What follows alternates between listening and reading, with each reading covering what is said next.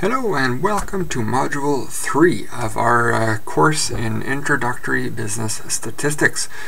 This module now, we're going to focus again, similar to in Module 2, here we're going to be looking at descriptive statistics. In this case, however, we're not going to be looking at pie charts and bar graphs and these types of graphical summaries. Now we're going to be producing numerical summaries of our data set.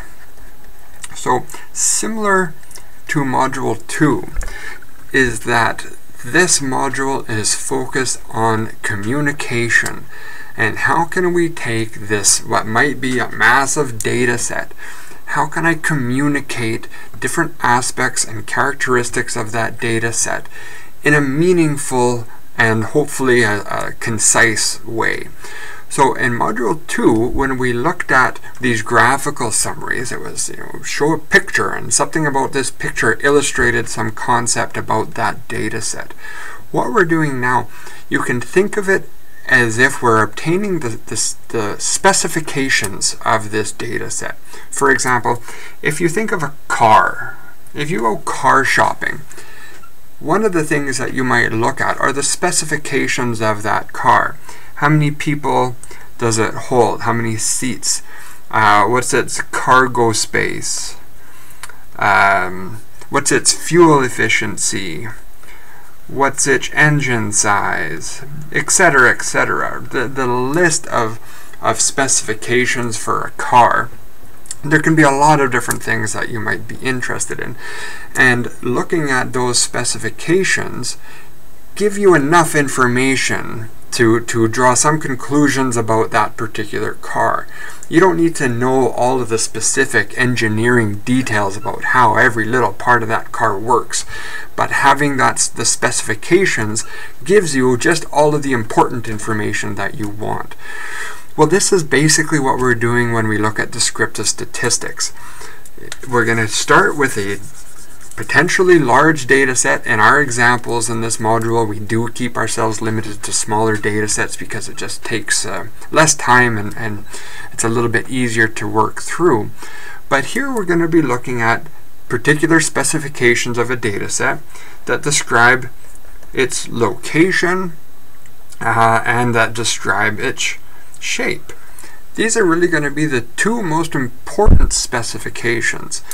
When we look at location, we're going to be looking at roughly where does this data set exist? Now that sounds kind of strange. We're looking at measures of central tendency, different ways that we can measure the middle or the average value within a location. So these are going to be things like the mean, the median, the mode, uh, we'll look at quartiles. There's so many of these things, quartiles and percentiles. And these all give us some idea of where the observations are. We'll look at shape. Shape now we're going to be discussing things like variance, uh, standard, uh, standard deviation, and these are all different measures of dispersion. So how far are individual values within that data set? How far do they exist from its mean, from that middle point? Are all of the observations in that data set, are they all very close together? Are they all packed around some uh, point in the middle? Or are they very widely spread out across some wide range? And of course the range is another metric, another specification uh, that we will consider. And then we'll also look at a few different things, uh, particularly how to identify outliers in a data set. So maybe a strange observation that is somewhere way beyond, far away from other observations that exist within that data set. So in this one, we're going to be basically putting together uh, a list of specifications that in one way or another they describe all of the important characteristics uh, of some potentially large, complex, tedious data set we'll put together a table that says, look, here's all the important stuff. Here's all you need to know about this data set.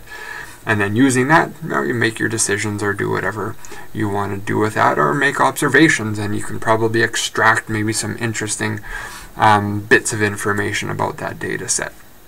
So this is all that Module 3 is going to be about, is, is we'll be discussing what each of these different specifications are and how to go about calculating them and identifying them.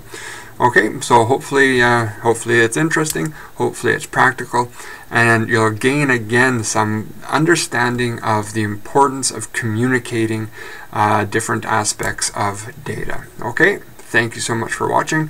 Uh, let's get started on some problems.